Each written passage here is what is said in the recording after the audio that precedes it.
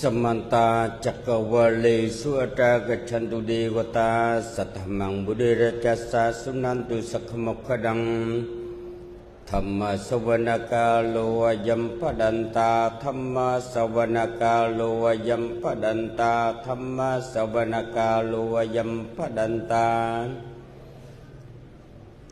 ะโมตัสสะภะคะวะโตอะระหะโตสัมมาสัมพุทธัสสะนะโมตัสสะภะคะวะโตอะระหะโตสัมมาสัมพุทธัสสะนะโมตัสสะภะคะวะโตอะระหะโตสัมมาสัมพุทธัสสะนะมัทุรัตนติยัสสะ Đệ tử xin thành kính lễ Tam Bảo, Đức Phật Giáo Pháp và Chư Tăng Nguyện Hồng Ân Tam Bảo xin hộ trì đến toàn thể quý tu nữ và chư Phật tử.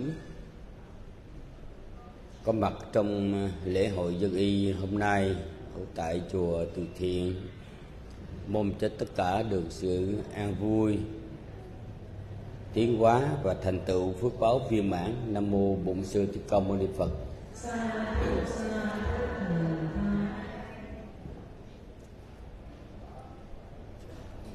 Kính thưa quý vị, hôm nay à,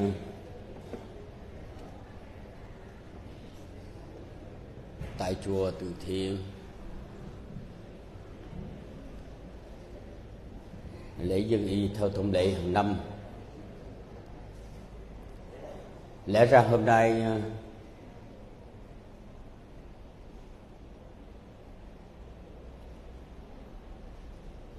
tôi đi ra ngoài Vũng Tàu để tham dự cái lễ ờ, thọ giới tỳ kheo cho một số vị giới đàn được tổ chức. Nhưng vì uh, sư đã nhận lời thuyết pháp cho lễ dân y tại chùa Từ Thiện hàng năm nên sư ờ, về đây để thuyết pháp cho các phật tử.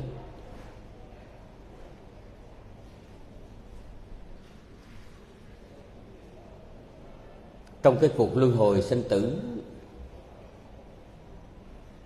chúng ta đã trải qua rất nhiều kiếp sống. Và trong cái sự luân hồi, thì chúng ta gặp nhau trong một cái hội chúng hoặc là gặp nhau trong cái ờ, tình thân quyến nó có ba trường hợp.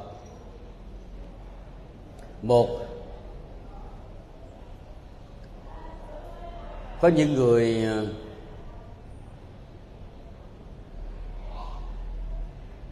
có những chúng sinh ở trong kiếp sống luân hồi do cái sự ờ, nịch ái yêu thương mà kiếp hiện tại được sanh ra làm thân bằng quyến thuộc hoặc là người cùng một gia đình. Cũng có những người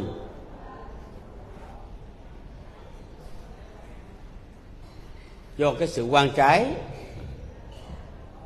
tức là trong đời sống quá khứ, do cái sự thù hận quán hận với nhau, rồi hậu viện sanh trở lại ở trong một gia đình, trong một quyến thuộc để mà làm khổ cho nhau. Cũng có những chúng sanh do đời trước cộng nghiệp thiện hay là cộng nghiệp ác, nghĩa là cùng chung làm một cái việc phước hoặc là cùng chung làm một cái việc ác ở kiếp hiện tại họ được sanh lại chung trong một cái ví thuộc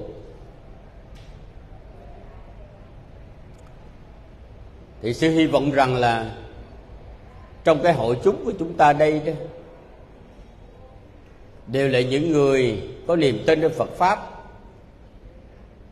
Và chúng ta đi chùa cùng tạo phước.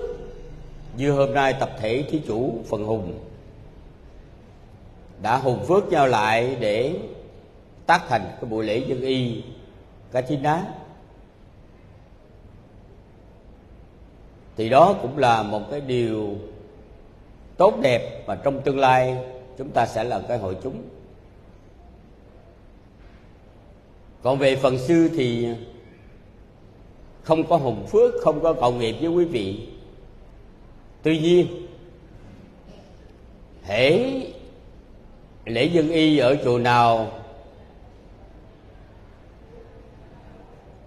Thì sư thường hay có mặt để sư thuyết pháp sự hướng dẫn sự khích lệ tinh thần phật tử chúng ta quy hướng về phật pháp. Thì à, ở trong tương lai, quý vị cũng sẽ là một cái hội chúng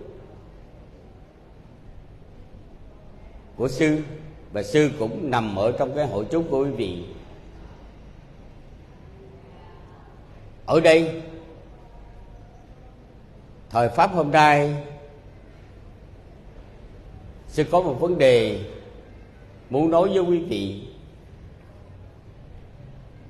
Về cái việc mà chúng ta à, tu tập để chúng ta có thể kết hợp là một hội chúng là quyến thuộc với nhau trong dòng sanh tử luân hồi. Trước khi tất cả chúng ta đắc được đạo quả a la hán chấm dứt sanh tử luân hồi. Ở đây, thưa quý vị, cái cuộc luân hồi này đã là khổ rồi. Bởi vì hễ chúng ta sanh ra thì chúng ta phải bị già, phải bị bệnh, phải bị chết mà nếu như chúng ta sanh ra mà chúng ta không có phước á, thì chúng ta phải bị nghèo đói bệnh tật và chết bất đắc kỳ tử. Thì như vậy cũng là khổ. Nhưng mà nếu như trong dòng sanh tử luân hồi mà chúng ta có đồng cùng cộng nghiệp thiện. Đời sau chúng ta sanh ra làm một quý thuộc. Thì như vậy, dù việc gì đi nữa thì chúng ta cũng còn cái hữu phúc. Cái hữu phúc đó tức là chúng ta may mắn được sanh ở trong cái quyến thuộc của danh người bồ tát. Chúng ta cộng nghiệp với đức bồ tát. Thì như vậy chúng ta đều có cái quy hướng về đầu quả giải thoát. Chúng ta được nhắc nhở, được khuyến khích để chúng ta làm các cái điều lành và chúng ta được che chở lẫn nhau ở trong cái niềm thân ái, thiện pháp. Thì như vậy chúng ta cũng sẽ được an ủi một phần nào trong cái bể khổ sanh tử luân hồi. Đau khổ. Chính vì vậy, khi mà chúng ta là người hiểu biết về phật pháp, chúng ta cố gắng tạo cho mình những cái phước báo để chúng ta làm hành trang đem theo trong ngày vị lai. Nhưng mà cái phước báo mà chúng ta làm đó nếu nói theo vi diệu pháp đó, thì chúng ta có hai cái trường hợp. Một là nanakadeka giá, tức là dị thời nghiệp duyên. Hai là bakatopadisaya pachaya là thường cận y duyên. Hai cái điều này rất là quan trọng. Gọi là vị thời nghiệp duyên. Tức là tư tâm sở ở trong cái tâm thiện dục giới, thiện sắc giới, thiện vô sắc giới, nó sẽ tạo ra quả tốt đẹp. Cái đó gọi là thiện nghiệp cho quả vui. Còn nếu tư tâm sở phối hợp ở trong tâm bất thiện, tạo nghiệp thân, nghiệp khẩu, nghiệp ý, bằng cái hành động bất thiện, lời nói bất thiện, cái tư tưởng bất thiện, thì nó sẽ đưa đến cái quả đau khổ. Chúng ta gọi là dị thần nghiệp duyên. Bất thiện trợ cho vô ký. Cho nên ở đây đó, chúng ta cần phải hiểu rằng là chúng ta sanh ra ở đời được thân làm người là chúng ta đã có được một điều khó. Cái chô manusa patelafo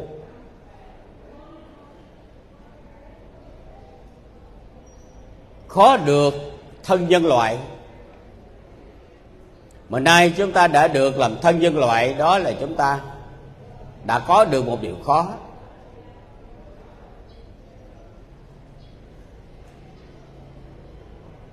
Thì bây giờ chúng ta phải cố gắng tận dụng cái thân này để chúng ta làm các cái công đức phước báo, đưa đến quả dị thục, an vui trong đời sau. Cái đó gọi là thiện trợ cho vô ký bằng vị thời nghiệp duyên.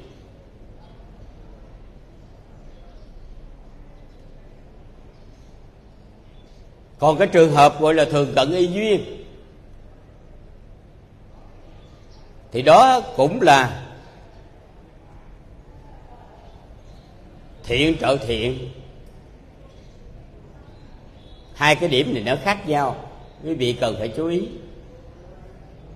Lúc ban đầu thì quý vị phật tử chúng ta nghe, quý vị sẽ rất là khó hiểu. Nhưng mà sư sẽ trình bày, dẫn giải cho quý vị nghe, quý vị cố gắng chú ý.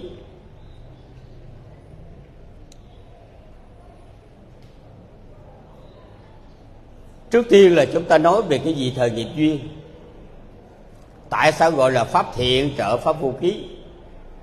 Bằng gì thời nghiệp duyên. Bởi vì khi mà chúng ta hành động thiện đó, thì cái tâm thiện nó sanh khởi, nó có cái, một cái chủng tử được gọi là kusala chetana tức là tư thiện.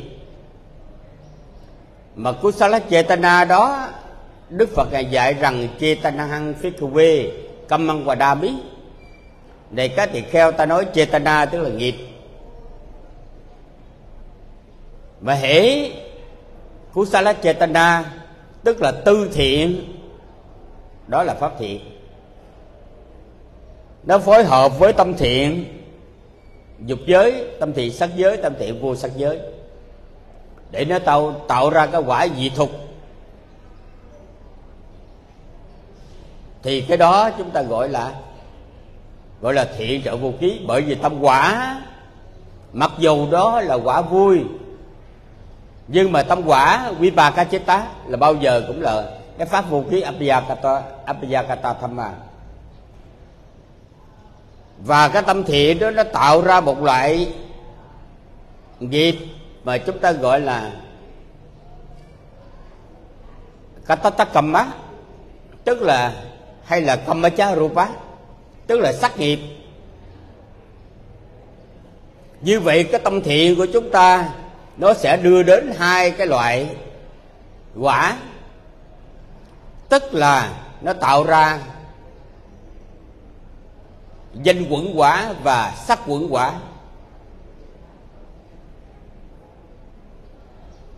Chúng ta đời trước tạo phước tạo thiện hay là đời này chúng ta tạo thiện, đời sau chúng ta sanh ra,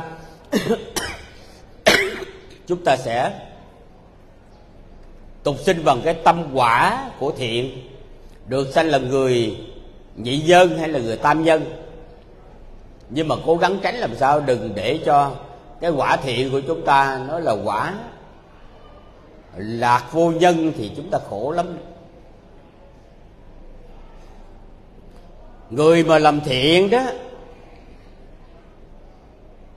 nếu như trong lúc làm mà thờ ơ quá, một là làm làm việc thiện, nhưng mà ly trí, nhà nào quyết bị vô tá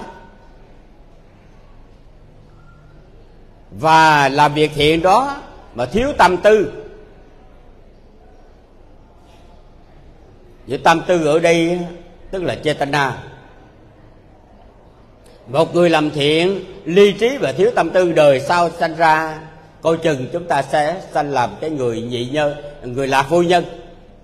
Mà người lạc vô nhân thì thưa quý vị, chẳng những mình khổ mà cha mẹ mình cũng khổ. Bởi sanh đứa con ra, nó khật khùng, ngất ngơ, ngất ngéo Nghĩa là nó bị tàn tật từ trong bụng mẹ tức là tay chân quều vào hay là đầu óc đần độn thì sanh ra bản thân của mình khổ mà cha mẹ của mình cũng khổ. Bởi vì không có ích lợi gì cho cha mẹ hết. Cái đó là do đời trước. Làm phước mà ly trí thiếu tâm tư. Còn người mà làm phước hợp trí, nhưng mà thiếu tâm tư. Thì người này sẽ sanh làm cái người nhị nhân. Nghĩa là người có cái thân tướng cũng đàng hoàng, tay chân lành lặn, nhưng mà khổ nổi cái là trí tuệ không có. Cho nên dầu cố gắng lắm kiếp đó, có tu tập thì chỉ là phát triển được tâm thiện chứ còn không có chứng đắc đạo quả được. Gặp thời đức phật xuất hiện ở đời mà chúng ta làm người nhị nhân là chúng ta cũng bị thất bại. Giữa cái hội chúng như thế này, người ta nghe pháp người ta đắc vào đạo quả hết. Chỉ mình là người người nhị nhân không có trí tuệ. Không có căn trí thì làm sao chúng ta chứng đạo quả được? Đó là do làm phước hợp trí nhưng mà thiếu tâm tư. Chút xíu sư sẽ giảng cái chỗ này. Cái trường hợp thứ ba, nếu một người làm phước hợp trí và đầy đủ tâm tư, đầy đủ tâm tư, thì người đó sẽ có thể tái sanh làm cái người tam nhân. Tức là có đầy đủ nhân vô tham vô sân và nhân vô si, tức là trí tuệ gọi là đều đủ tam nhân. Mà nếu chúng ta làm cái người tam nhân đó là chúng ta là người à, pháp vô gọi là pháp vô puriso tức là người có khả năng chứng thiền hay chứng đạo quả ngay trong kiếp sống đó. Chúng ta chuẩn bị sẵn sàng. Cho nên cái việc mà làm phước gọi là dị thời nghiệp duyên chứ thật sự ra khó lắm thưa quý vị. Nhưng mà cái này đó phật tử chúng ta đi nghe pháp thông thường. Là các vị pháp sư dạy cho chúng ta về à, bố thí được phước, trì giới được phước, tu thiền được phước, nhưng mà không chỉ dẫn cho chúng ta theo cái cách của vi diệu pháp. Cho nên ở đây à, sư à,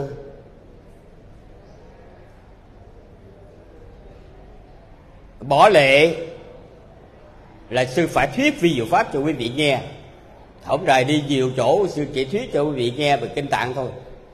Bữa nay phải thuyết như thế này để cho phật tử chúng ta. Ai có khả năng trí tuệ để hiểu được cái pháp này, thì người đó có khả năng tu tập. Bây giờ, khi mà chúng ta làm phước thế nào gọi là làm phước hợp trí? Thế nào là làm phước đủ tâm tư? Ở đây thưa quý vị làm phước hợp trí. Cái gọi là nha nát samayut tăng. Là phước hợp trí tức là khi mà người đó làm bố thí trì giới hay là hành thiền, người đó có cái trí tuệ suy tư, khéo tác ý. Chúng ta phải khéo tác ý. Còn mà làm phước mà khơi khơi đó, chúng ta làm cho có làm đi, chùa chỉ cười, vui cười hỉ hạ mà làm nhưng mà không có khéo tác ý thì chúng ta làm phước ly trí. Nhà nó quyết về vô tầng rất là nguy hiểm uổng lắm. Uổng chứ không có gì. Gọi là hợp trí, người này khé tác ý trước hết. Là người này có sự suy nghĩ.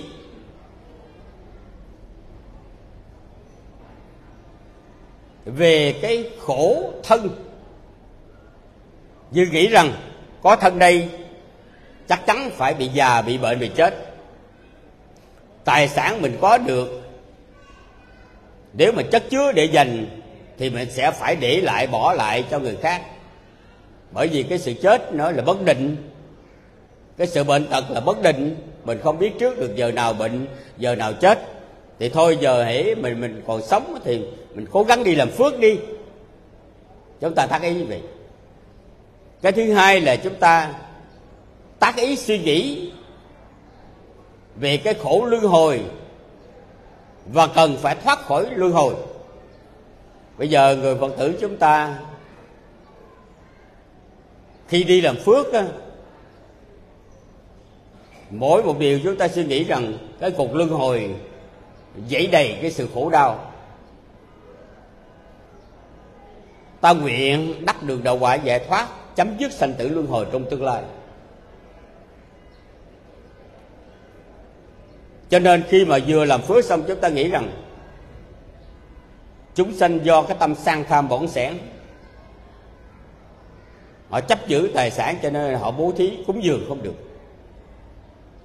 Ta vì mong cầu có cái tâm nguyện đắc đạo quả giải thoát, chứng ngộ niết bàn mà phải dứt bỏ cái lòng bổn sẻn chúng ta tác ý như vậy rồi chúng ta mới làm phước. Cho nên, sau khi làm phước xong mới phát nguyện rằng, y đăng mê vui nhân nibbana sabajiyo hô tú. Nguyện do cái phước do thiện nghiệp đã làm trong ngày hôm nay, nguyện làm duyên đến niết bàn. Hay là y đăng watame punyan asawakhayo wahan hồ tú anagate kale phước do thiện nghiệp đã làm hôm nay nguyện trong tương lai ta sẽ đoạn trừ lâu hoặc, tức là chứng quả la hán. Thì cái đó nó cũng là cũng là hợp trí. Rồi cái thứ ba nữa là chúng ta thác ý cái gì? Chúng ta khét tác ý, chúng ta suy nghĩ về cái lý nhân quả nghiệp báo. Thí dụ bây giờ một người, họ bố thí xả tài, họ nghĩ rằng có những chúng sanh trong đời này sinh ra ở đời bị nghèo khổ, đói kém. Là do nơi thiếu cái phước bố thí đời quá khứ. Bây giờ chúng ta gặp những người, họ thất nghiệp, họ phải đi bán vé số hoặc phải đi ăn xin, ngồi ở đầu đường xó chợ ở vỉa hè, nắng mưa khổ cực. Đó là do thiếu thiếu cái pháp bố thí hết thiếu cái phước bố thí đời trước. Chúng ta nghĩ vậy, chúng ta sợ sợ cái cảnh nghèo đói đó, chúng ta nghĩ rằng làm phước được phước. Làm phước được phước. Bởi vì hãy gieo giống nào gặt quả nấy. Hãy mình gieo cái nghiệp thiện này thì mình sẽ được cái quả thiện này. Bồ tát là người từng bố thí. Do đó cho nên bồ tát không bao giờ sanh ra bị đói khổ. Nó xin lỗi dầu cho. Mình lỡ mình có sanh vào cái loài vàng xanh, mình cũng không có bị đói. Bây giờ quý vị thấy nè, thời buổi bây giờ đó, người ta phá rừng, người ta diệt cỏ. Bây giờ những cái con thú mà nó sống ở rừng đó không có chỗ ở. Nó phải tuyệt chủng. Rồi cỏ như là con voi hay là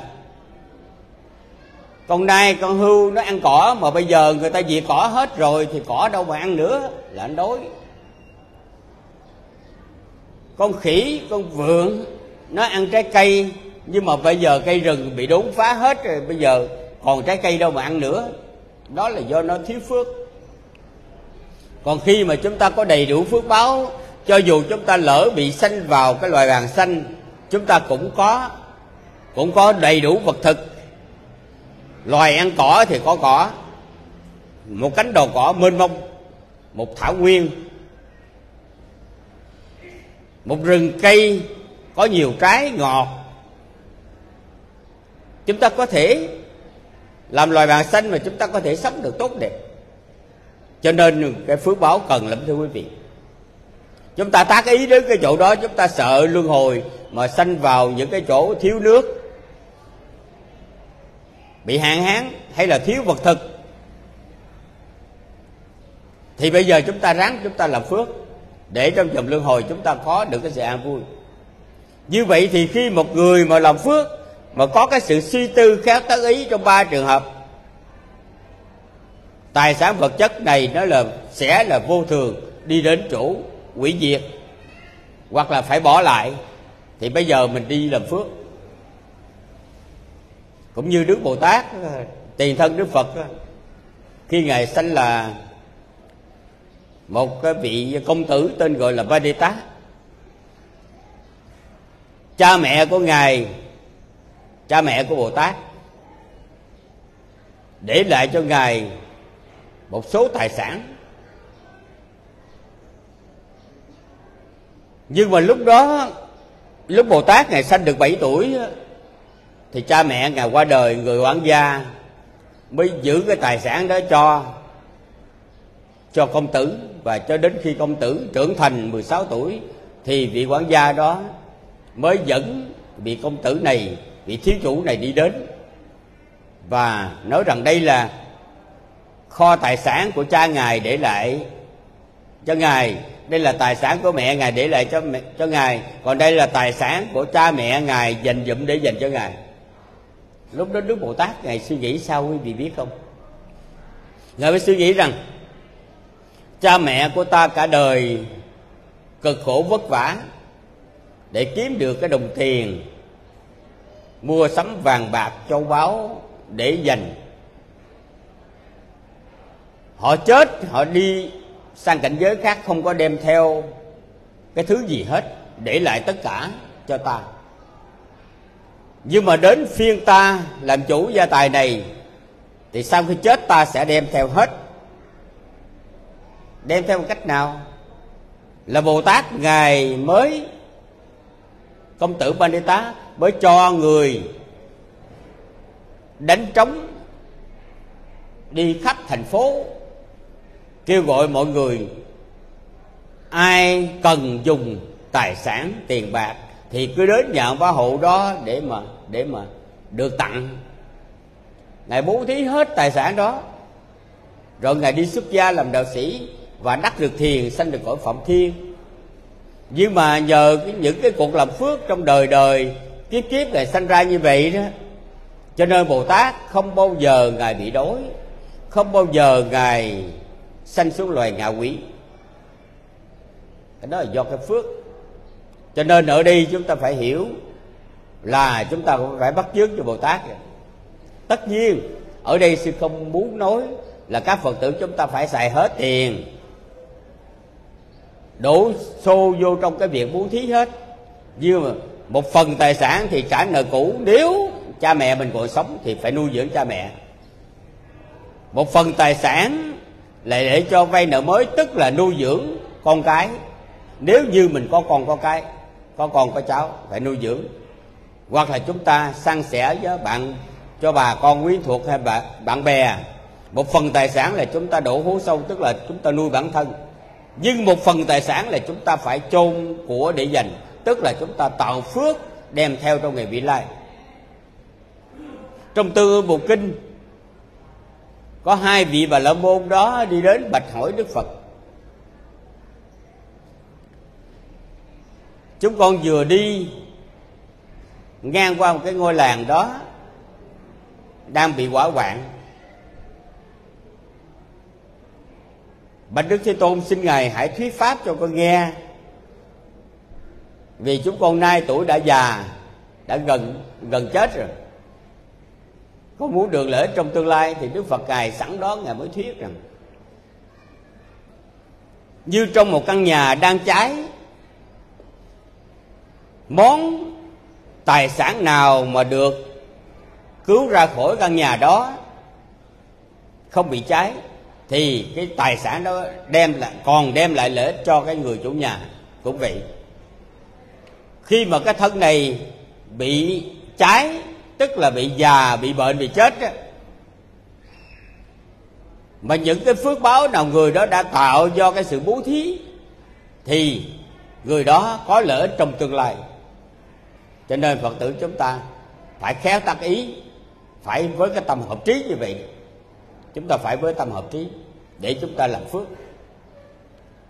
Và cái trường hợp thứ hai mà sư sẽ trả lời cho quý vị thế nào là đầy đủ tam tư tam tư ở đây tức là ba cái sự suy nghĩ, tức là tư tiền puppachetana tức là suy nghĩ trước khi làm.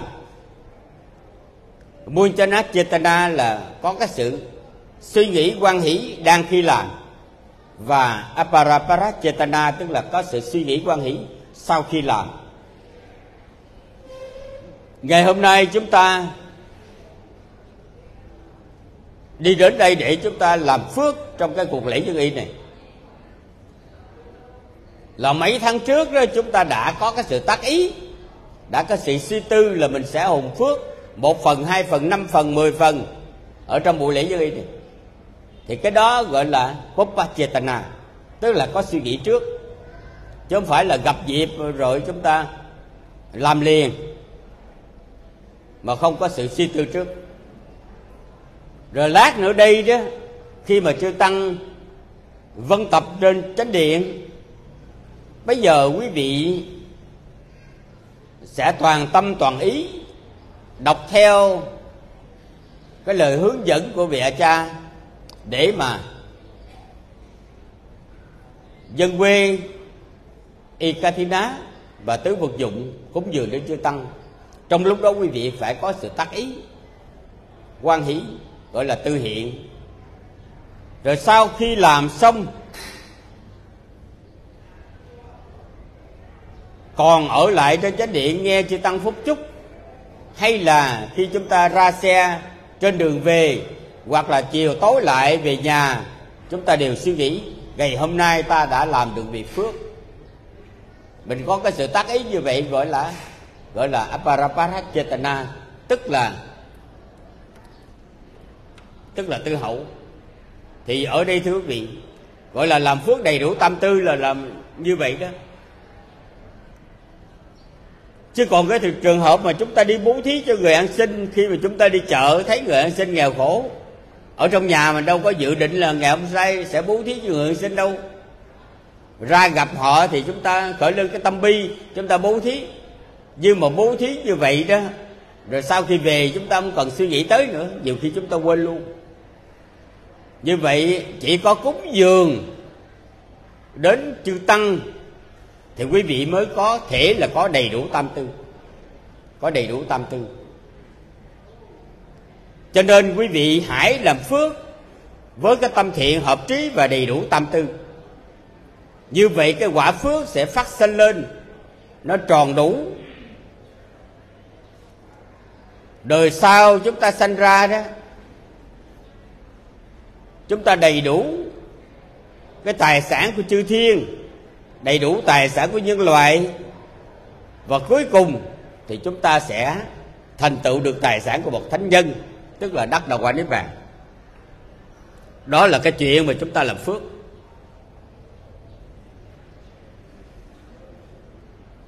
Vị thời nghiệp duyên. Còn bây giờ khi mà chúng ta nói đến cái việc mà làm phước bằng cái thường cận y duyên cái điều này cũng rất quan trọng, thưa quý vị.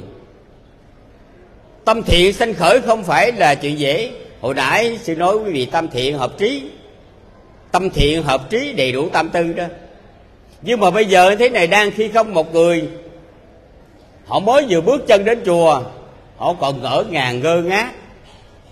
Họ khó mà làm phước, hợp trí với tâm tư. Thế là người phật tử chúng ta phải làm cái thường cận y duyên có thói quen hễ mỗi khi mà làm phước, chúng ta đều khéo tác ý. Đều khéo tác ý bằng trí tuệ để suy nghĩ. Một lần chưa thấm, hai lần chưa thấm, ba lần, bốn lần, năm lần. Năm, quý vị quy y mười năm, thì quý vị đã làm phước. Dự lễ dân y Kathina hết 10 năm rồi, hết 10 mùa mùa dân y Kathina mà mỗi mùa dân y cái thí ná như vậy, quý vị đều có cái sự tác ý hợp trí thì vậy nó quen rồi. Nó có cái thói quen. Mà khi đã có cái thói quen như vậy rồi, thưa quý vị, thì sau này chúng ta khởi lên cái tâm thiện mà hợp trí thì rất là dễ, bởi chúng ta đã quen quen tác ý rồi. Còn người mà có cái sự đầy đủ tam tư, trước khi làm, đang khi làm, sau khi làm, lúc nào bố thí cũng có đầy đủ tâm tư. Làm như vậy nhiều lần nhiều lần như vậy chúng ta cũng sẽ quen đi cho nên ở đây đó chúng ta làm thiện là một lẽ. Nhưng mà cái phải nhờ cái pháp thiện trước trợ cho pháp thiện này bằng cách thường cận y duyên. Cũng như một người làm ác vậy à, ăn cắp từ nhỏ ăn cắp. Gặp cái gì ai bỏ rơi rớt dầu trái cài trái ớt cũng ăn cắp. Ăn cắp nó quen tay ngủ ngày nó quen mắt. Hồi đó giờ không có thói quen ngủ ngày. Nhưng mà bắt đầu cứ là hãy buổi trưa ăn xong là phải ngủ. Ăn trưa là phải ngủ. Riết rồi quen mắt. Bữa nào đi đâu mà không có ngủ trưa được là buổi chiều gật gù gật gù à. cũng vậy. Khi mà chúng ta làm phước á, chúng cũng vậy. Chúng ta làm phước nếu một lần chúng ta hợp trí và đầy đủ tâm tư nhiều lần nhiều lần như vậy chúng ta thành thói quen. Cái gì cũng thành thói quen. Hồi đó mà đi học, thầy cô giáo dạy cho dạy cho chúng ta cách viết chữ. Cho nó đẹp, viết theo hàng u ly. Nhưng mà nếu học như vậy mà chúng ta viết chỉ có một lần đó, là sau này chữ viết không có đẹp.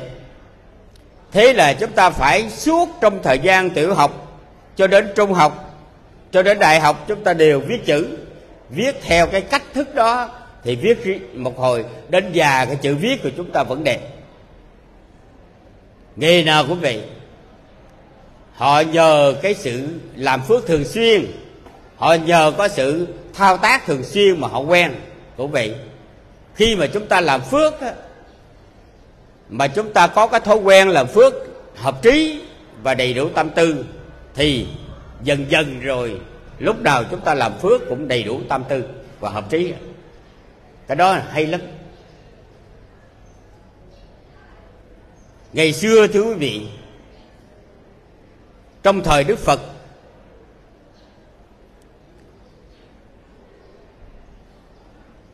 có cái cậu bé đó. Cha mẹ ở nhà từ hội nó còn nhỏ là cha mẹ dạy nó niệm phật, niệm bút thô bút thô bút thô. Cũng giống như bây giờ, phật tử chúng ta về dạy con cháu niệm phật vậy đó.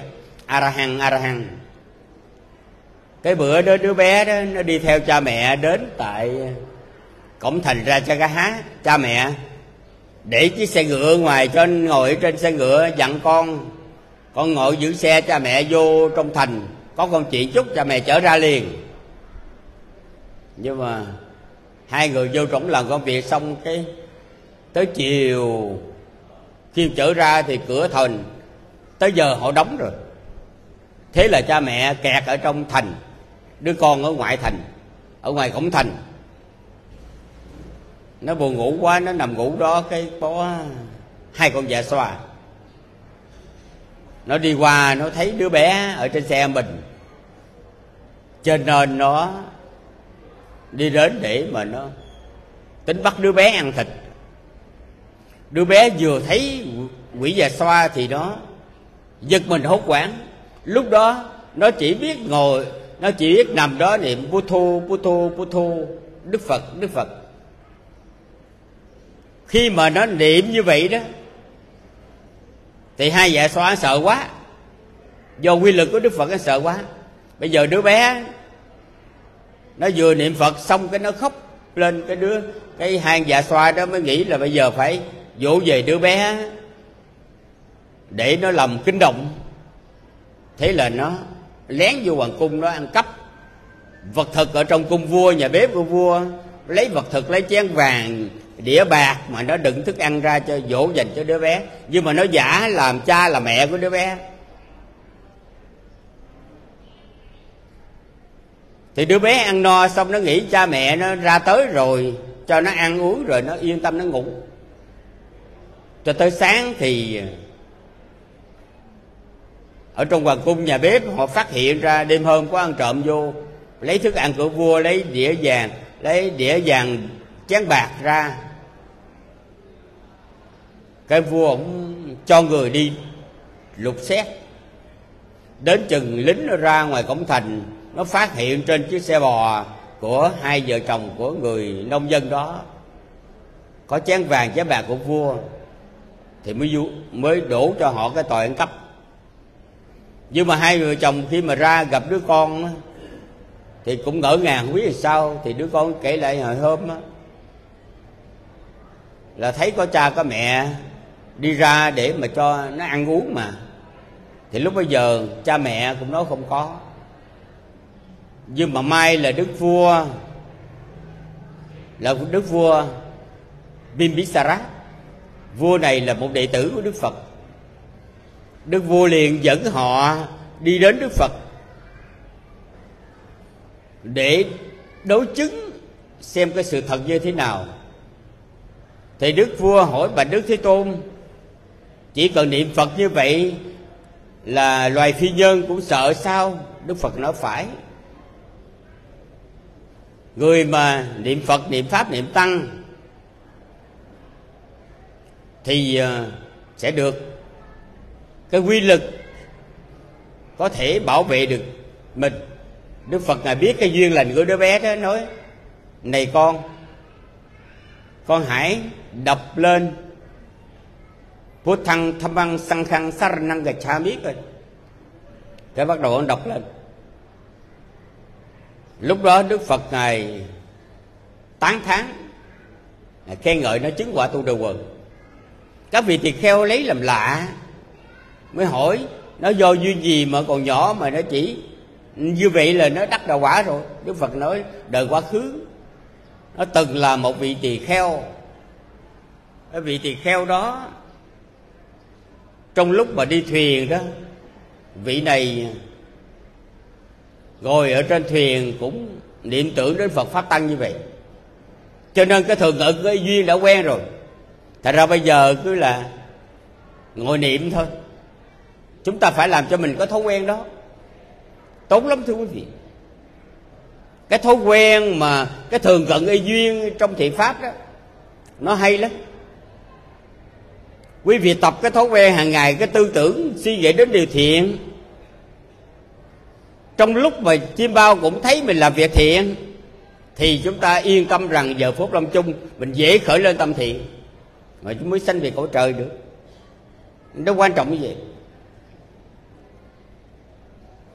Cái điều này rất là cần thiết. Cho nên người phật tử chúng ta phải nhớ hai điều. Thứ nhất là chúng ta phải làm cái việc thiện để mà phát sinh quả dị thuộc tốt đẹp đời sau. Cái thứ hai nữa, muốn cho cái pháp thiện này mà nó duy trì được đó, là chúng ta phải làm việc thiện cho trở thành cái thường cận y duyên.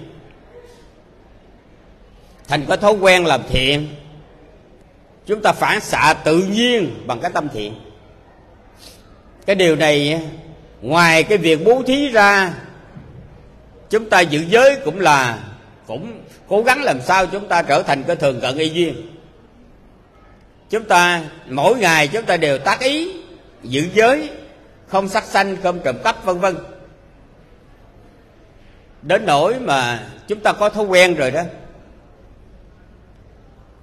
Chúng ta đang chuẩn bị nấu cơm, mà chúng ta thấy ở trong gạo nó có những cái con mọt. Lập tức chúng ta dừng tay lại và chúng ta sàng sảy như thế nào để cho những con mọt đó rơi ra hết chúng ta mới bắt đầu vô cơm mà nấu. Đó là thói quen giữ giới. Hoặc là người phật tử chúng ta có thói quen giữ giới không sát sanh đang đi trên đường, chúng ta ngó xuống chúng ta thấy có một con kiến con mối nó bò ngang, chúng ta tránh qua một bên, không có dẫm đạp lên đó chứ đó là cái thói quen giữ giới người mà có thói quen giữ giới như vậy đó thì thưa quý vị mới có thể giữ giới được lâu dài. Còn hành thiền quý vị nữa, chúng ta có thói quen, dễ lắm. Bây giờ quý vị đừng hành thiền chỉ, mà quý vị hành thiền quán thành có thói quen. Quán vô thường khổ đau vô ngã hễ mà hồi nãy khi mà từ ở ngoài cửa bước vào trong này sư thấy bữa năm nay ở ngoài này trống lỏng không có gì hết. Cái sư hỏi thị nam đó xong à, hỏi sư đó tại sao bữa năm nay trong lỏng không có che trại ngoài này? Lúc đó sư khởi lưng cái tư tưởng suy nghĩ rằng cái gì cũng vô thường. Nó thay đổi. Nó thay đổi. Cho nên hãy mà chúng ta vừa nhìn thấy trên đầu mình có sợi tóc bạc là chúng ta có cái thói quen suy nghĩ. Có thân đây phải bị già không thoát khỏi sự già sáng ngày thức dậy mình nghe đau ở chỗ này nhất ở chỗ kia. Chúng ta liền suy nghĩ, có thân nào phải bị bệnh không thoát khỏi sự bệnh? Nghe làng trên xứ dưới có người chết mà nói, có thân này phải bị chết không thoát khỏi sự chết.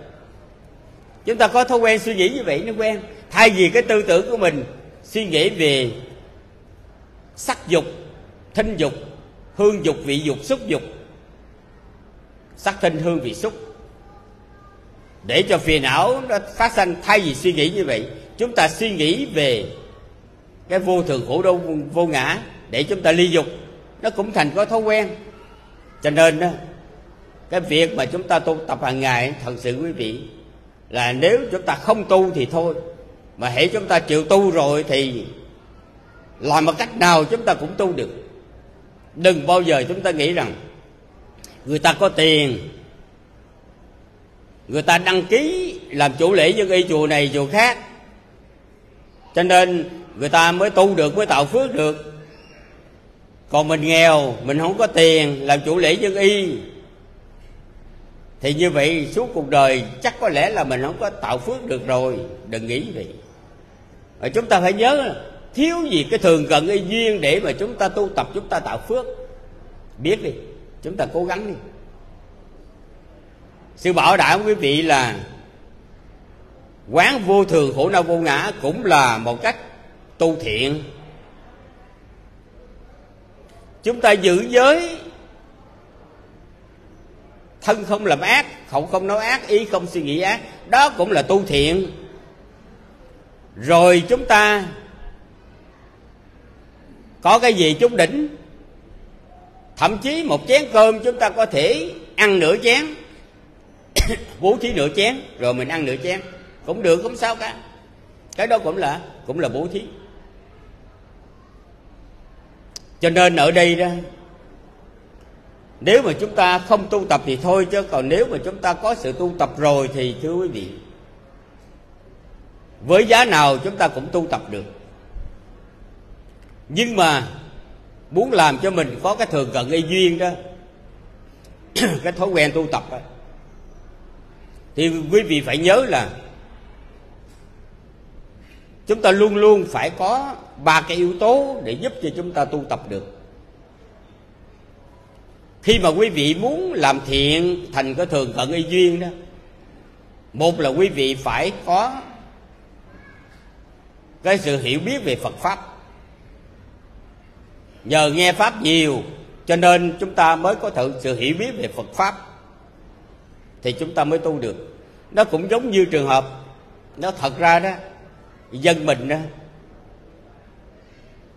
Thì nói về kiến thức y khoa ít lắm, thưa quý vị. Kiến thức y học ít lắm. Y học thường thức thì chúng ta cũng hiểu biết ít lắm.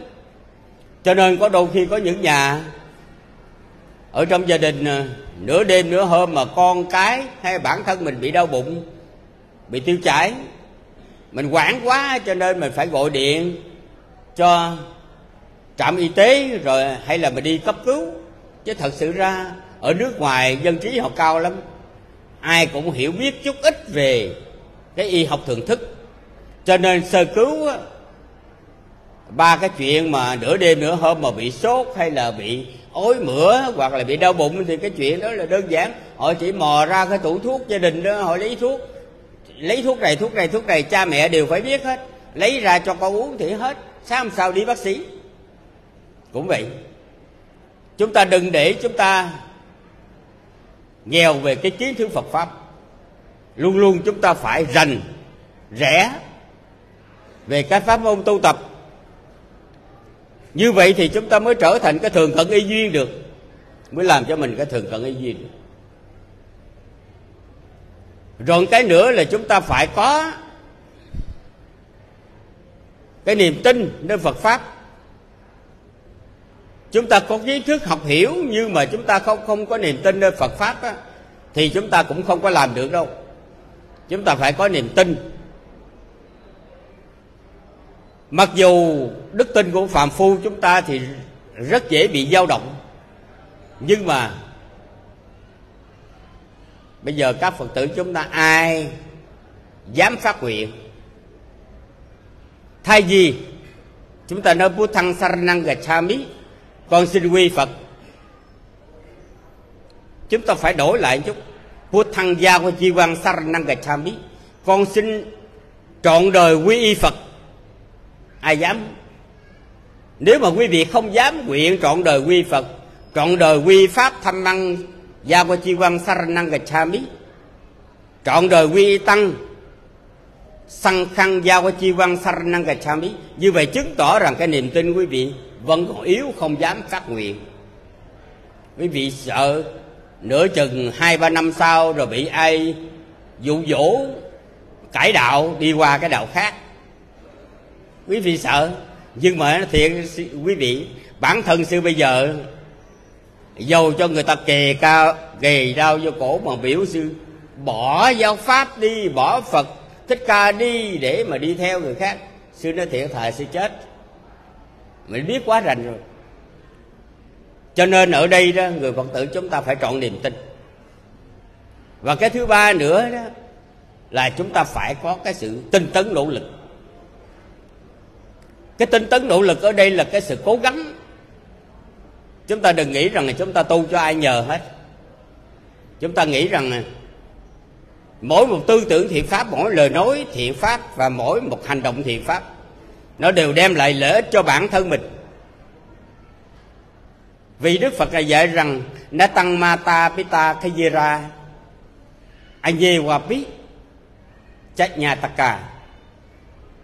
samma pani tăng chích tăng sayeso năng tatokare Mẹ, một điều mà mẹ cha và bà con không ai làm gì được, đó là cái tâm hướng chánh, khí sở hành tốt đẹp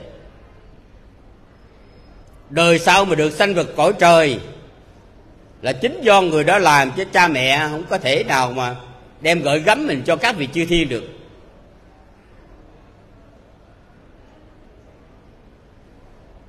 Mình được em vui hạnh phúc từ đây cho đến già đến chết. Cha mẹ qua đời rồi không có ai bảo bọc mình, nhưng mà mình vẫn được an vui. Hạnh phúc là do nhờ tự mình làm thiện pháp, mình được an vui rồi đào quả niết bàn cũng là do tự mình chứng đắc. Chứ cha mẹ và bà con không có ai có thể đem đào quả niết bàn lại cho mình được đâu. Cho nên ở đây đó, nhiều người phật tử họ đi chùa làm phước. Họ nói rằng hôm nay làm phước này hồi hướng đến cho ông bà, cha mẹ hay người thân tên vậy tên vậy. Hãy hồi hướng công đức này đến những chúng sanh đó. Sau khi tùy hỷ phước rồi, được kết quả làm người, làm trời, quả niết bàn nó thiệt quý vị, mình muốn sanh về cổ trời, cõi người, và đắc đầu quả niết bàn là do tự người đó làm cho mình nhờ người khác đi làm giùm cho mình đó, càng không có, không thể được đâu. Cho nên người phật tử chúng ta phải hiểu rằng, cái việc tu tập của chúng ta đó chẳng thà chúng ta nghèo về vật chất, nhưng mà chúng ta đừng có nghèo về về thiện pháp.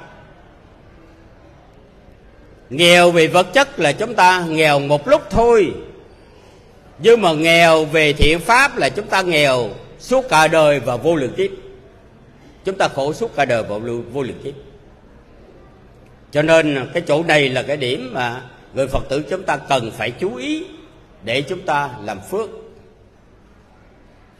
thì hôm nay, sư có dịp đi đến đây san sẻ với quý vị.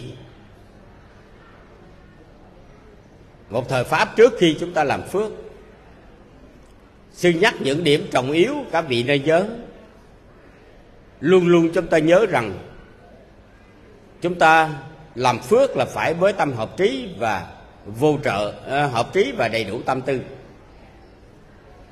và cái việc mà chúng ta làm phước mà đầy đủ tâm tư đó, không phải chỉ một lần mà chúng ta phải làm nhiều lần, lặp đi lặp lại để cho thành cái thường cận y duyên, thành cái thói quen. Và căn bản của thiện pháp bao giờ quý vị chúng ta nhờ cái đức tin, nhờ cái sự tinh tấn và chúng ta nhờ có trí tuệ học hiểu phật pháp nhiều, chúng ta mới có thể duy trì được thiện pháp.